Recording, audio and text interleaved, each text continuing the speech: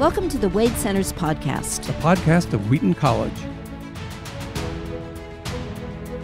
Welcome to the Wade Center podcast. I am joined today by a fantastic group of people, one of which happens to be my husband, Dr. David Downing, my co director at the Wade, and our wonderful producer, Aaron Hill. But also, we have the great opportunity to have a conversation with Dr. Mark Noll, perhaps one of the most famous Christian historians um, living today. He has a PhD in the history of Christianity from Vanderbilt University, and he taught at Wheaton College for 27 years before going on to Notre Dame. He has published around, I, I kind of don't do numbers well, but it's around 25 books plus more co edited volumes. But the one that most people recognize is the 1994 scandal of the evangelical mind. I got my first tenure track job at a Christian college not long after Dr. Noll published Scandal of the Evangelical Mind, and everybody was talking about it. They so appreciated uh, Mark's dedication to understand certain elements of anti intellectualism among evangelicals. Another book that I have quoted in several of my books is called The Civil War as a Theological Crisis, where Mark did this research about attitudes towards slavery among both Southern Christians and Northern Christians, and how Northern Christians as well were thinking that the abolition of slavery was unbiblical. And it really forces us to think through how different eras of Christians foreground different issues. And that is exactly what is exciting about the book we are going to discuss today. But first, just to impress you a little bit more, in 2006, Dr. Noll was awarded the National Humanities Medal in the White House. Wow. So I know. So David, He what jumped on a hand grenade and saved someone's life. you They saved get a medal all of humanity. That's right. So, Dr. Noll, thank you so much for joining us today. Well, it's a real delight to talk with you. I've enjoyed visiting the Wade Center for decades and was certainly delighted to take part as the Hansen lecturer two years ago. David, why don't you explain the origin of this book, which is called C.S. Lewis in America? And it is basically dealing with the reception of Lewis among different groups of Americans. People see the title and they'll think that C.S. Lewis came to America. Uh, our associate director, Marjorie Mead, was overhearing a, a tour once that someone was giving, and they said, "Well, C.S. Lewis came to the Wade Center," and he said, "Yes, that is my ward. That's my wardrobe." And Marjorie pulled him aside and said, "He never came to America. He never came to the Wade Center." And the person said, "Well, thanks," and went back talking about C.S. Lewis at the Wade. Wow. Yeah, I know. Uh, Can you imagine if we discovered evidence that he secretly came to America? Uh, or yeah, Yeah, something? right. Yeah, Yeah, right. But that's it precisely why we need historians like That- that's Mark why we need Mark. Yes. Right. Yes, yes. Well, the Hansen Lectures were initiated about 10 years ago. Uh, the idea was to have a distinguished scholar talk about one of our seven authors from the point of view of their discipline, and then have three respondents from elsewhere on campus to talk about the initial series of lectures from their point of view and from their discipline. And then these are every spring now, about once every month, January, February, March, and then they're collected into a book. So this book is based upon the Ken and Jean Hansen lectures. They were friends of Marion Wade, worked with Service Master, and their Ken's son Walter Hansen and, his wife Darlene set up this uh, speaking series in honor of their parents. Mm. So it's been very successful. It really gets a lot of people talking about issues that might normally not be together. It's great for the community, and it gives us a chance to showcase some of our really brilliant minds at Wheaton, Mm. such as uh, Dr. Noll. Tell us how you decided to approach the three different lectures that you would be delivering to the public and then would be put in this book. The origin of the project came about when Chris Mitchell, your predecessor as the director of the Wade Center, asked me to prepare a paper for 2013 and the 50th anniversary commemoration of C.S. Lewis's death.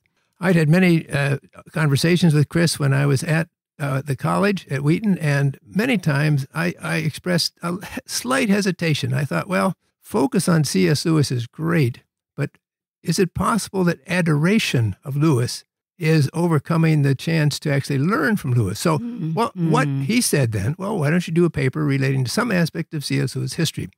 My wife Maggie was at the time, I was at Notre Dame. She was employed as my teaching assistant part time. And we tried to research the early reception of C.S. Lewis in America. We set on the period 1935, when the first American Review appeared, and 1947, when Lewis appeared on the cover of Time magazine. Mm. We had, Maggie had actually done uh, research going on, but the number of reviews and the amount of commentary on Lewis just began to explode. Particularly, we come to 1950 and, and the Narnia tales. So it, it made a nice 12 year period to look at the early American responses to C.S. Lewis. And then what came from the research itself was a, a natural division. Um, Catholics were the first to seriously engage with C.S. Lewis. Once the Screwtape letters were published in America in February of 1943, there was a tremendous boom of interest all throughout the United States. There had been a little bit among academics before, but nothing like what came later.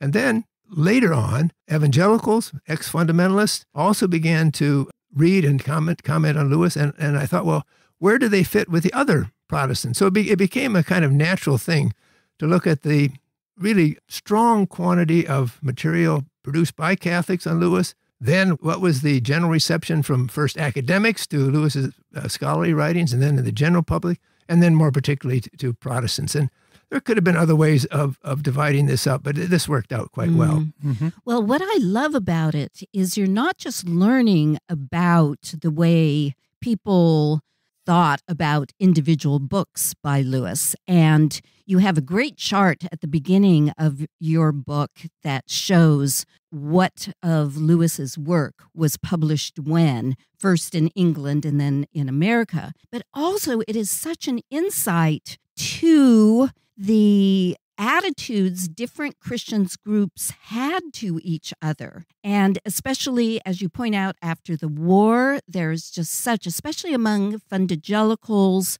a suspicion of Roman Catholicism. And, you know, Lewis died in the middle of Vatican II, which really revolutionized and opened up a lot of thinking among Roman Catholics. So, what struck you in this first section about the Roman Catholic response? Were you surprised or did it just make sense to you? Yes, I, I was surprised, and surprised by both the quantity and the quality of reactions, reviews of, of C.S. Lewis. The quantity was interesting because there were Catholic authors writing about Lewis in Catholic periodicals, and then there were a, a significant handful of Catholic authors writing about Lewis in publications like the New York Times, New York Herald Tribune Book Review. The first or first or second uh, Lewis review by a Roman Catholic was by Thomas Merton in the years between his uh, reception to the Catholic Church and when he entered the monastery in Kentucky that he lived in the rest of his life. And Merton did this review for the New York Times, I think it was 1938, of the book that Lewis had put together with Tillyard debating Uh-huh. how literary criticism should work. Should it focus on the literary artist or should it focus on what the artist was trying to portray? Mhm. And Lewis, of course, was defending focus on what the artist portrayed. Merton wrote quite a uh, good literary view, but then also made a kind of theological statement about the heresy of making the artist more important than what the artist Right. was doing. And I thought that was interesting because it anticipated much that came later with Lewis's defense of objective morality and objective moral instinct. Well, that was early, but then uh, right away after the publication of the particularly the Screwtape letters and then the ransom or, or space trilogy, there was a lot of serious literary criticism by Priest in America, which was a Jesuit magazine, Commonweal, a magazine organized by lay Catholics, journals out of Fordham University, journals out of Marquette University. So there, there was just uh, a great deal of interest and overwhelmingly positive. There were a few Catholic reservations, particularly because Lewis, in his presentation of the Christian faith, did not stress the activity and the place the central place of the church. The other reservation is, is a little bit comic looking back because some Catholic reviewers, particularly in the conservative side of the Catholic Church, were not so much nervous about Lewis, but they thought that other Catholics were too enthusiastic about books that had not been canonically Mm. approved Oh. by, by some kind of authority. Mhm. And then, the, really, the, the, the most striking thing was that the deepest, most serious, most learned writing about Lewis in America of any kind until the late 1940s came from Catholic articles writing during World War II. Mm. A man named Charles Brady, who was an English professor at Canisius College in Buffalo, a Jesuit school, published a two part article in America magazine, May and June 1944, that was the most extensive, deepest, best rounded attention to C.S. Lewis in the United States of the period. There would not be anything like it until a few years later, Chad Walsh, the English professor from Beloit, began to publish on Lewis and eventually did, did a, a, a full Mm. book. Mm. Brady's articles uh, touched on Lewis's scholarship on Milton and Paradise Lost, touched on Lewis's scholarship on Edmund Spenser and the, the medieval uh, ro- uh, romance. He, he wove discussion of the Ransom trilogy into what he had to say about the Screwtape letters. He understood what Lewis was trying to do in the pamphlets published as broadcast talks. And he did this in about, uh, I think, three or 4,000 words. And we were really pleased in the publication of the book that America Magazine allowed us to reprint tho- those two articles. They, they, were, they really were just the best and roundest commentary. Brady sent these articles to C.S. Lewis. He wrote back and said, You're the first critic who has, who has done my entire oeuvre, them, all my Mm. works, the way should, they should be done. Right. What struck me as I read this section is just the brilliance and how well educated these Catholic reviewers were. And it put me in awe, as well as the fact of the, throughout your book, Perelandra had um, a very positive response for people, as well as Pilgrim's Regress. Now,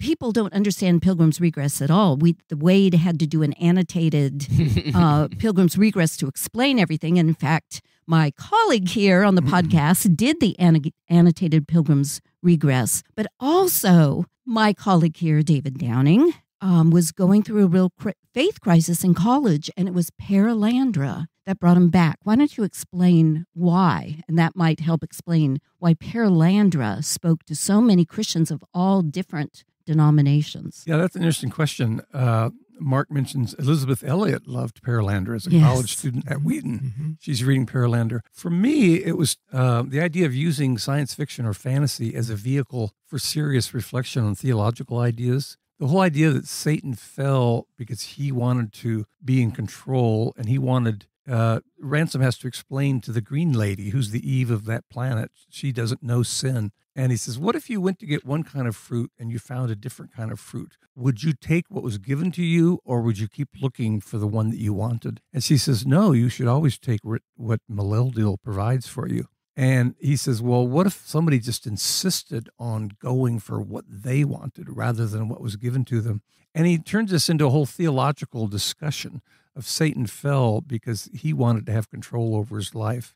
Yeah, and one of the statements, Mark, that you make in this section really resonated with me when you say that Catholicism was never as repressive, priest ridden, monochrome, or oriented towards salvation by works as Protestants regularly complained.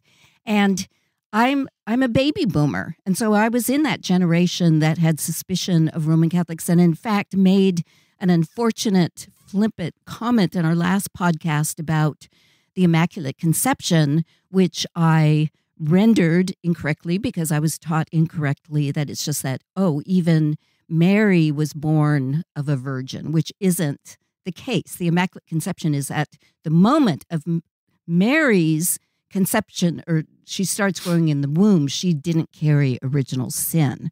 That is what's meant. Mm. And so this chapter made me realize how I had been bred with a problematic prejudice.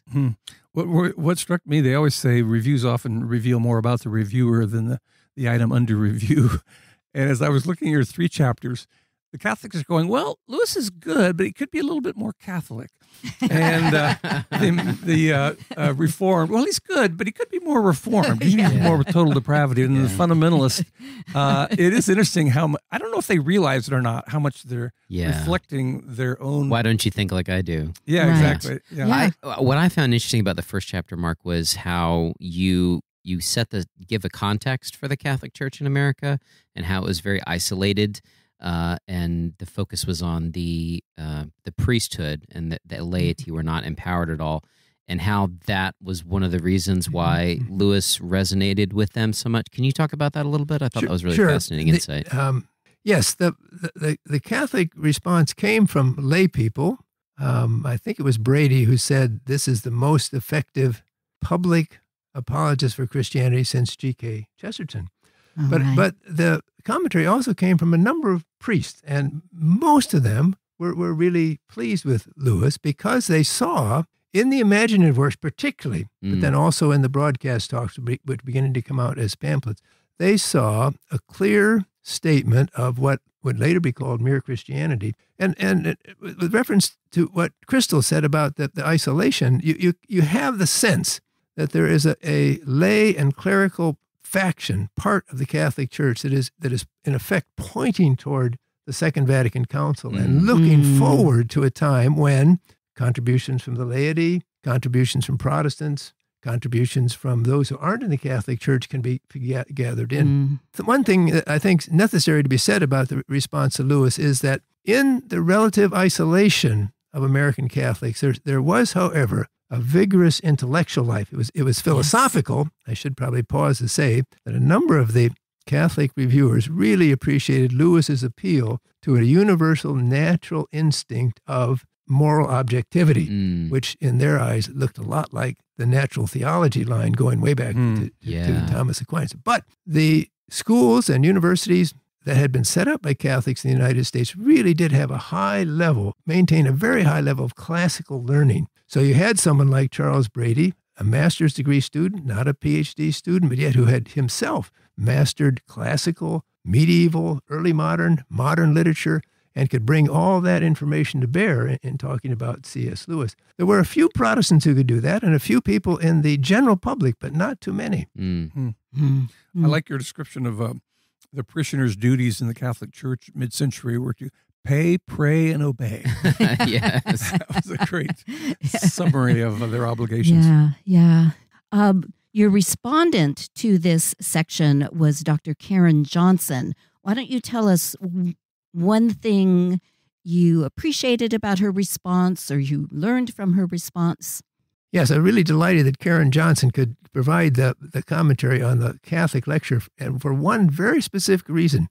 Karen's own scholarship deals in large part with the Catholic response to race in the 20th century United Mm. States, particularly the World War II era and after. And one of the leading Catholics that she studied in a very fine book on Chicago Catholics and racial matters in this mid century period, one of the Catholic leaders she fe- features is a priest named Father John Lafarge, who was actually uh, a leader in, in among the clerics in moving the, church toward a mo- more, we would say today, more advanced position on, on uh, civil rights. Mm. It turns out that Lafarge was also a reviewer of one of or two of C.S. Lewis's books, Yeah, cool. and, and actually, it wasn't it wasn't Lafarge, but others uh, found in Lewis's treatment, particularly of the different species he created for. I'm not sure if it was all of the uh, uh, the, the, the ransom, ransom trilogy, but the, the, at least Perelandra and Out of the Silent Planet.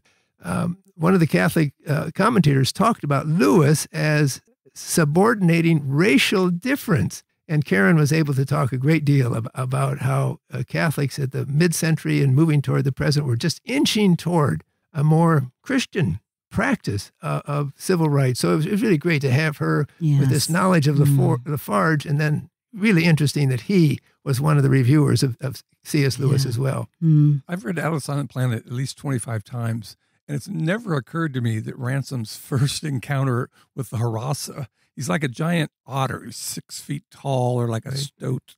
And this reviewer said maybe that was an image of Right. racial Right. encounter, or racial, Mm. uh, I don't know if I'd say uh, tension, but wow. I, I thought it was just a, uh, he's meeting another uh, rational soul. Yeah. So here's someone who could speak and have critical judgment, moral judgment, but I'd never thought about it in racial terms. Yeah. But Well, Lewis actually, responded rather. Uh, Lewis was very interesting in response because he Yeah. said, I hadn't thought of that either. yes, yes, but but he says, and this goes back to the personal heresy that you were talking about earlier, Mark, that it's about the work itself, and many times the work speaks things that you're not even aware, and especially as a Christian, you might think the Holy Spirit is speaking through you, right. even apart from your sense of control. It's about the art object itself rather than deifying the artist. Yeah. Well, and as Dave was saying about the different Catholics, you know, wanted Lewis to be more Catholic and Mm. Protestants wanted to be more Protestant. Um, you perhaps that revealed something about that reviewer and the state of race relations in America in the Yeah. middle of the century that they didn't view blacks as fully human. Yeah. Mm. You know, You know, in Richard Hofstadter's book on anti intellectualism in American life, one whole chapter is on evangelicalism. And I'm wondering if there just aren't as many uh, fundamentalist or evangelicals writing in the 30s and 40s. They have so many uh, thought journals or opinion journals. Uh, it was interesting for me reading your book to understand where does commonweal coming from? Where's thought Yes. coming from? Mm. Often you just get these uh, articles from one of these journals Mm, and you have no context. Why was it founded? What was their mission Yeah. statement? So I enjoyed uh, seeing what the uh, the context was for many of these writers and Mm. many of these articles. yeah. Mm. I enjoyed the second chapter. If maybe we want to talk Yeah, about that for a second. Uh, or the second lecture, uh, just from the perspective of Lewis as a literary scholar and these secular people receiving him before he achieved the you know level of fame that he has today. And you know, the Chronicles of Narnia sort of shifts the perspective for mm-hmm. pretty much everybody, even non Christians, and they sort of see him through that Christian author lens. But them treating him as an academic, I thought was very fascinating the way you covered that. So uh, you want to talk about that a little Sure. bit? It wa- it was interesting that most of the American coverage of Lewis up to the publication of the Screwtape Letters did deal with his uh, more academic works. His- preface to Paradise Lost. Uh, David will have to fill me in on the exact title, but the, the study of late medieval romance, uh, Ed- Edmund Spenser, Allegory of Love. Allegory of Love. Um, and there was review as uh, more than just uh, Thomas Merton review of the Tillyard debate on personal her- heresy. I, the first time I read Personal Heresy, it's supposed to be a spirited debate, and they were both. Right. Tillyard was more established than Lewis. Right. But my impression on reading that exchange of essays, they go back and forth, and it's like a duel between someone with a rapier and someone with a butter knife. Uh, Lewis just seems so much more adept and uh, clear in his thinking than than Tillyard. But that was Yeah. that's my opinion. the, the, the, the, the academic treatment was interesting because some of it came from well known people. Roland Bainton, who would later become well known for the 1950 biography of, of uh, Martin Luther, commended uh, The Allegory of Love. Arthur Lovejoy, at one time in U.S. history, well, well known for his studies in intellectual history, the founder of the Journal of Intellectual History, cited Lewis and, uh, again, several of his academic works. The appreciation was both literary and ideological. As Lewis's point in the preface to Paradise Lost, which I was pleased to read in preparation of these, these lectures, was that there's a lot you can say about Milton, but if you neglect theology, you've neglected the heart of the matter. Right. And Milton scholars in the U.S. said that basically that's right. There, there was a little bit of resentment by well known American Milton scholars that Lewis didn't quote them, Huh, imagine that. but but uh, almost universally, they, they either thought the book was pretty good or real good.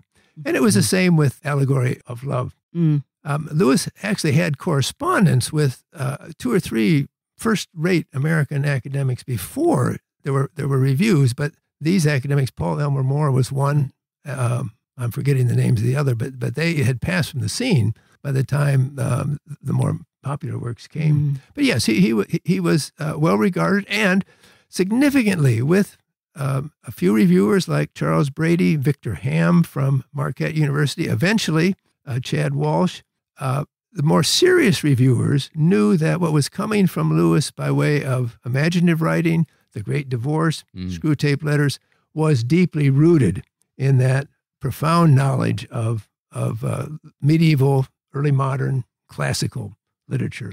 Mm. Paul Elmer More, uh, Lewis called in one letter. He said he called him my spiritual uncle, And he normally was pretty Mm. suspicious of Americans and American scholarship. Although in another letter he says, I like American reviewers. They seem to actually read the book before they write the review. so Well, didn't he learned to appreciate didn't Americans. some of your professors in grad school at UCLA require Lewis works? They did. His scholarship is very respected. I've read Personal Heresy, UCLA, uh, Allegory of Love, Discarded Image. It shows a whole level of Lewis. People think of him as a popular children's writer or lay theologian. When you see him as a scholar, there's a whole extra uh, dimension to his mind that's really impressive and I would say also daunting. Mm. What also made me realize how things have changed is that both the Chicago Tribune and the New York Times reviewed and praised Pilgrim's Regress, which is basically a it's like Pilgrim's Progress. It's about a story about coming to faith. Now that was 1944 and that you can get this type of intelligent uh, critical thinking about Christianity. And now discourse has become so polarized that people can't discuss in critical language in uh, popular. Although I have, I mentioned UCLA, I have a UCLA story. We were reading Milton, Paradise Lost, and the professor said, "Well, Milton's something of a heretic. He was an Athanasian, and it, that's really." And I said, "No, Athanasius was the, the Athanasian Creed. That's Orthodox. It was. Ar- You're probably thinking of Arius." Yeah. And my professor said, "Oh, you just say that because you're a Christian." and this is before Wikipedia. If I did it now, I'd Yeah. "Look- look it up on Wikipedia. Yeah. Right. Yeah. But it was a strange kind of ad hominem. I'm defending Milton because I'm a Christian rather Yeah. than hmm had he made a mistake. Well, and this chapter reminded me of my experience of grad school wasn't until um, the 1980s, but um, many of the responses to Lewis were um, somewhat snobbish that he's uh, so retrograde and this goes back to the modernist emphasis on progressivism. We're moving beyond the need to believe in old-fashioned christianity. And even in the 1980s i would have i had one student my fellow student in grad school uh, say to me you're the only christian i've mm. ever met who's the least bit intelligent. Mm, mm, and then a professor of religion who when after some famous speaker talked and there was this wine and cheese reception and um, it- people were just kind of snobbishly discounting anybody who's a theist who believes in god. And i go well i believe in god and this i still remember this professor of religion swirling his chardonnay and then saying my, aren't you an anachronism? you know, the in the 80s, Mm. you can't be intelligent and be a Christian at the same time. So when I was reading some of the responses, then in this section, it just re- that lasted a long time. If anything, it got worse. Yeah. Well, it is it is interesting that there was a, little bit of uh, condescension to Lewis, uh, and actually it shows up most in Protestant mainline Protestant periodicals, but but there's not really much of that. Um, in in the general press, there were some reviewers who critiqued different parts of Lewis's writing, and, and actually some academic writing in the uh, mid 40s that actually rejected him entirely. But he was always treated with respect because Mm. people realized that he was uh, smart and that he, he could. Uh, Mhm. I mean, he had he was basing what he said on solid research, and um, in non-Christian publications, I think there probably was a general sense that this is really good work. Lewis Mhm. actually appeared on a cover of an American magazine before Time. Oh, He was on the cover of the Saturday Review, Saturday Review of Literature, in either 1943 or 1944. Huh. And the, the, the author of the article that accompanied the cover photo or co- cover Im- image was a very distinguished uh, literary critic himself who was not so much taken with Lewis's Christianity, but was very impressed with his myth making uh, qualities. And he realized that the Christianity was essential to it. And it didn't seem to bother him at all. Mm. I, I like the phrase about someone saying Lewis was a word juggler and, and a paradox monger. Uh, that was a clever phrase. I think it actually applies more to Chesterton than Lewis. but it Right, that's Yeah. true. Um, But to reinforce what Mark is saying is that even people who disagreed with Lewis's Orthodox Christianity still recognized the quality, as you said, not only of his scholarship, but of his prose. And that's something many readers of Lewis today, is, it, it, they don't talk enough about his prose, the quality of his, the art itself. Well, and I also found it fascinating. One of the things I found fascinating from this second chapter, uh, Mark, was where you mentioned about how the uh, Theosophists responded to him, Mhm. and so you you mentioned a couple of the reviews from the Theosophical Review and how that connected to Barfield and Right, right. anthroposophy, and it just made me. It stood out to me because we do have a Theosophical Society right, right, here in Wheaton right. that I drive Right. by Right. uh, all the time, and it stood out to me that they just sort of were like, "Oh, this is great. This is this is exactly what we believe. Just the words are slightly different." Oh. and I, I found that very fascinating because of all the sort of different audiences that are out there. They right. they just just immediately they're like, "Oh, this is great stuff." No, you know, no notes. Uh, we're we, you know we want to use it as is. well, you um, know, uh, Mormons and Orthodox, Eastern Orthodox Christians both love Lewis. Yeah, But they both have a way of drawing out of Lewis what they consider Yeah. to be some of their Mhm. core doctrines. yeah. So I just thought that was fascinating. This this ability to almost read your own beliefs into some of Right. Lewis's writings that seems to be going on at this time? I think that's happened in, with the Bible itself occasionally. Right. So yes. anytime Just someone is occasionally. Yeah. Anytime you have a revered text, people start more and Yeah. more seeing themselves. Right, it becomes right. a mirror rather than a, a window. Mark, why don't you comment on the respondent to this, your second lecture, Kirk Farney, who is a vice president at Wheaton College, but who was your student? Isn't that right? Right. I asked uh, Kirk Farney to comment on the second lecture because his doctoral work, now published as a book from University Press, dealt with two of the most popular radio broadcasters of the 1930s and 1940s. Uh, Walter Maier of the Lutheran Hour, and then Bishop, or eventually Bishop Fulton Sheen of the Catholic Hour.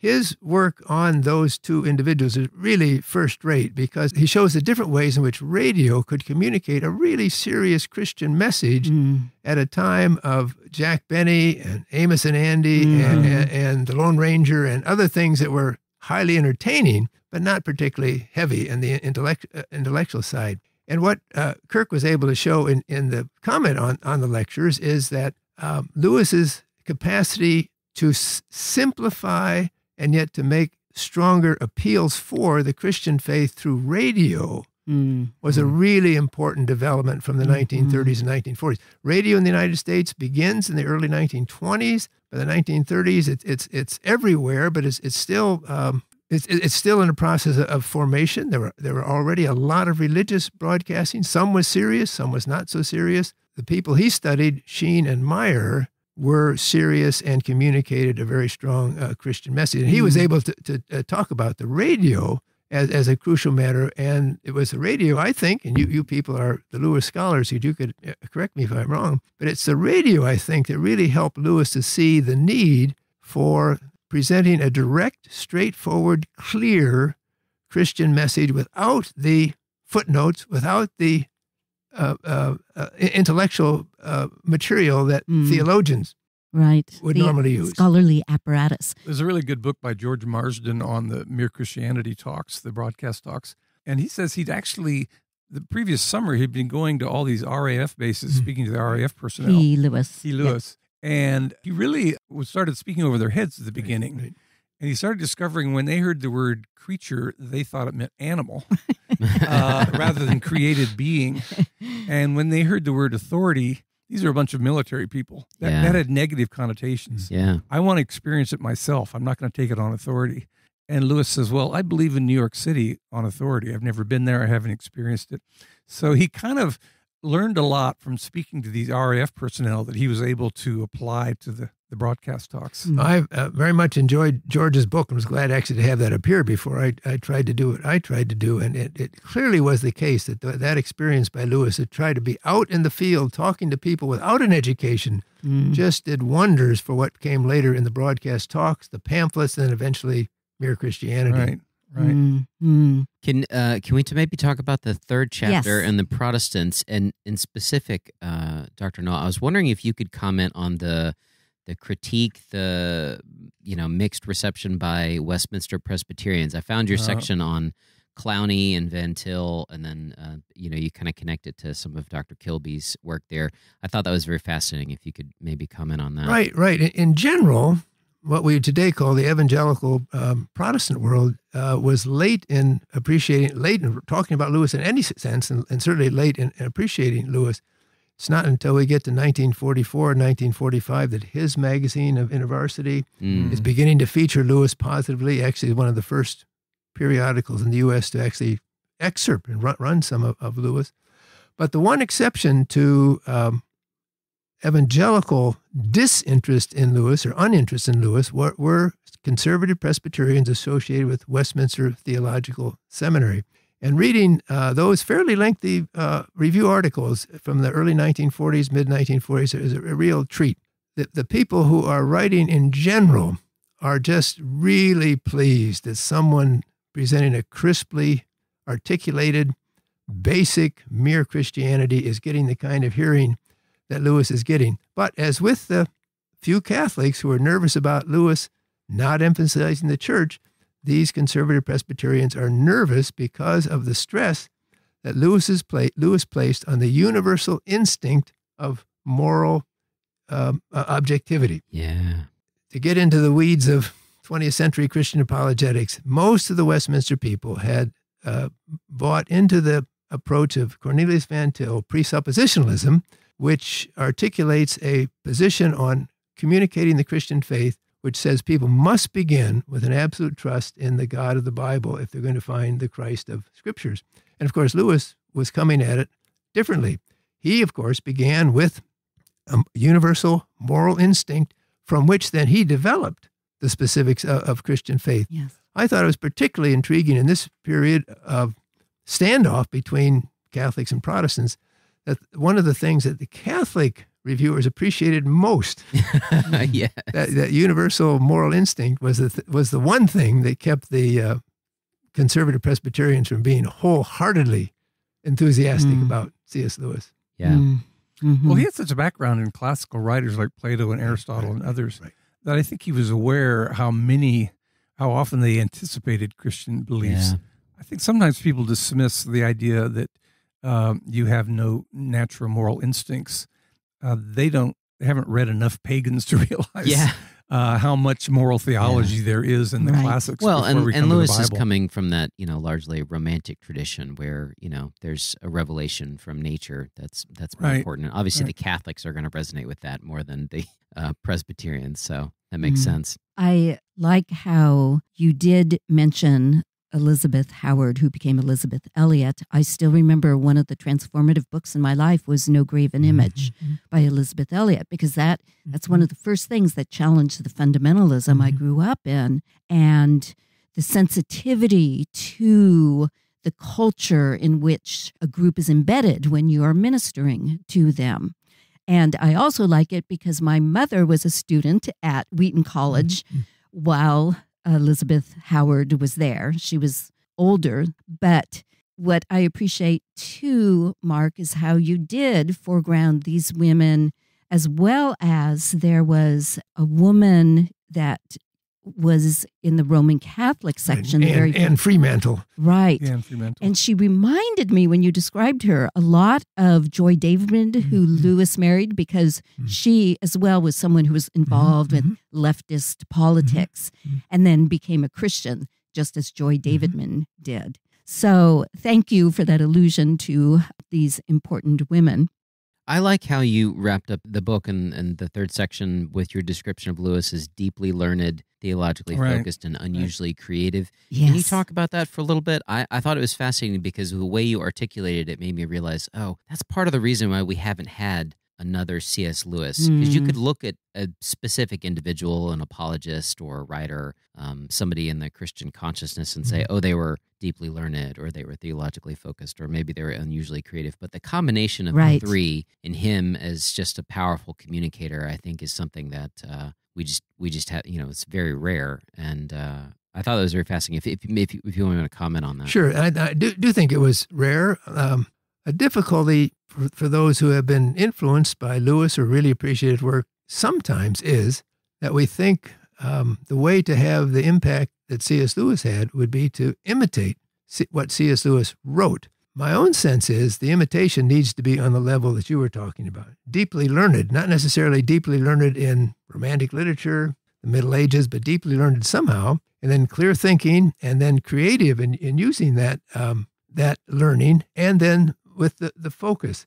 And my own sense is that if uh, people today, believers today, were able to do that, the product might not look anything at all like what C.S. Lewis Mm. wrote, Mhm. except that it might have a broader impact. Although, as Crystal has mentioned, and is, is very clear with even a preliminary understanding of the period we're talking about, things have changed a, a great deal. Yeah. And, and what was able to communicate uh, broadly and deeply in the 1940s with the World War, with the search for moral absolutes, may not communicate in the same way today. But understanding the qualities that were brought to bear, I also think that Lewis's attitude to his own work was, was really important because we all know people who are bright and intelligent and even brilliant and will be pleased to tell you. That, that they- uh, whereas, whereas Lewis's attitude, I think, was he knew he was smart and he he knew he had something to say, but he also knew that he was in danger of thinking too highly of himself. So I, I was actually pleased to end the end the book with the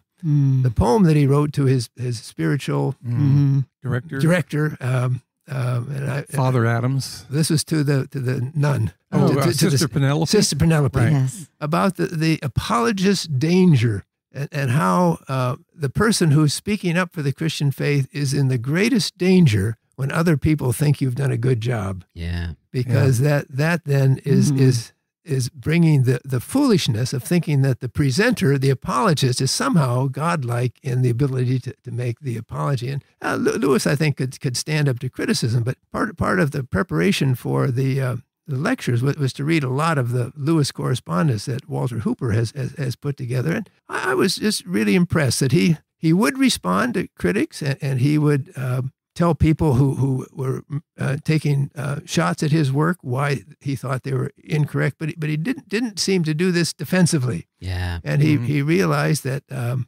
you know sometimes when people make criticisms of your work, it's deser- deserving. So it was it was a, it was a, Mm. it was it was a very positive attitude toward his own work as well as then Yeah. exhibiting the kind of Mm. characteristics you mentioned. Mm.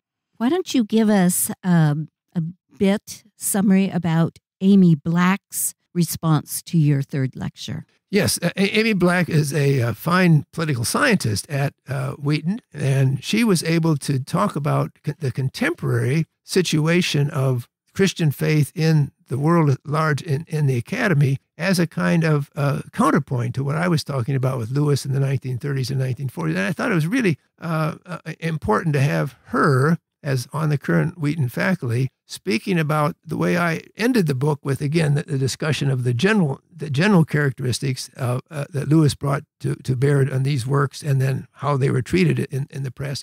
She was able to talk about some of the same kind of efforts in the uh, early uh, 21st century, but then the different uh, circumstances, the, the greater polarization, for example, of the public sphere that that uh, that makes it unusual for the uh, Los Angeles Times, the Chicago Yeah. Tribune, uh, Mhm. the, the Atlanta Journal, New York to, Times. to, to- to have glowing articles about something that's distinctly uh, Christian. Yeah. So it was a Mhm. really nice.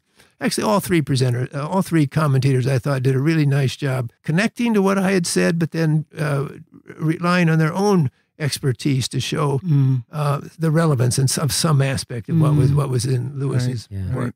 Um, you've mentioned, uh, David, you mentioned earlier the Marsden book, and I know there are a number of other um, books, and historians have done research on the reception of Lewis. Um, what what did you learn that was maybe new, uh, especially you know you, you you yourself knowing so much history and working on it for this conference back in 2012 or 13? What what did you learn that was new? Um, what new knowledge do you think that we've gained from from this researcher and, and that we could maybe apply to Lewis as we engage with him now? Well, yes, I certainly uh, benefited not only from George Marsden's biography of Mere Christianity, but uh, K. Allen Snyder has a very fine book on the reception of Lewis. Stephanie Derrick wrote a dissertation in Scotland, actually, that then became a really nice book on uh, British and American, but mostly British reception of, of Lewis. I need to just pause and say Stephanie's book is really um, impressive for answering the question why, in general, have American audiences been more enthusiastic about Lewis than English, British, British audiences. Yeah. And it, it's a very fine study. My own my own sense is is that the um, the different constituencies that sort of uh, uh, showed themselves when, when we were doing this research give us uh, different angles on how Christian faith can be presented in a creative and literary way today. So, amongst Catholic reviewers were learned people and certainly underscored the value of a Christian spokesperson who was learned himself and, and could express the learning with real creativity. The general public was, was uh, impressed by Lewis's skill at communication and the, the crispness with which he presented what he presented. The Protestant um, world, I think, was uh, helped mainline Protestants by seeing a, an Orthodox voice who uh, was really uh, trying to keep the mainstream of Protestantism from moving into uh, Christian modernism. And then the more conservative angle, the evangelicals and fundamentalists, saw that it wasn't wasn't really a problem if you were learned. It wasn't really a problem if you were creative. it wasn't really a problem if you didn't emphasize mm-hmm. the particulars of your individual group. But somebody saying something creatively about the basic structure of Christianity was a really good thing. Mm. Uh, I, I still am a little nervous still about the, the uh, enthusiasm of evangelicals after the period I'm I'm working on. Mm. Uh, oh, oh, not because the enthusiasm is, is misplaced in itself, but that it, it makes uh, Lewis a kind of icon to be imitated in what he did, mm. rather than icon to be imitated in how he went about mm. what he did. But that's but, a nice right. distinction. Yeah, that's good. Yeah. But but the, uh, the the fun of working at the book was someone who's not a Lewis scholar, really really trying to get back into the 30s and 40s and seeing how the reactions and reception cast a real strong light on how that period was developing. Mm. Alister McGrath says that it's amazing that Lewis, not only that he was so famous, but that he continues to be so famous. Mm. He sells more books now than he did in his lifetime. Mm. If you go to HarperCollins' website, they have categories like history and biography. And under uh, spirituality, they have spirituality slash C.S. Lewis. Mm. Oh, wow. So he's, he's holding down the whole domain of spirituality. Hmm. Uh, so it is fascinating that even as mainstream culture in America seems to get further away from uh, Christian foundations, someone like Lewis is continuing yeah. to be mm. so influential. Mm. This is a very important mm-hmm. book. And Mark, you did a fantastic job just in your research and Maggie in contributing to your research and the, the respondents you chose. And I want to tell our listeners that we, if they write the Wade, wade at wheaton.edu, um, we will supply a 20% discount for them of this book with Mark Noll's signature in it. And for anybody who wants to understand the context in which C.S. Lewis was writing and speaking to others, and anybody who wants to understand tensions among different Christian groups. This is a great way to learn because it has the thread of C.S. Lewis tying everything together. Thank you so much for writing it and for being with us today. Yeah, certainly my pleasure, and thank you for the attention to the book. Great, thank you. The Wade Center podcast is a production of the Marion E. Wade Center at Wheaton College in Wheaton, Illinois. Our hosts are the co directors of the Wade Center, Drs. Crystal and David C. Downing. Our episodes are produced and edited by Aaron M. Hill. If you enjoy the podcast and the content we offer, please leave us a review on iTunes, tell your friends, and consider making a donation to the Wade. The Wade Center is entirely self funded. Financial gifts help support the expert services, past collections, and varied programming we offer at no cost. If you have questions about the podcast or suggestions for future episodes, please email us at wade at wheaton.edu or contact us via Facebook, Instagram, and YouTube. To learn more about the Wade Center, our seven British Christian authors, what we offer, and how to make a donation, visit our website at wheaton.edu slash Wade.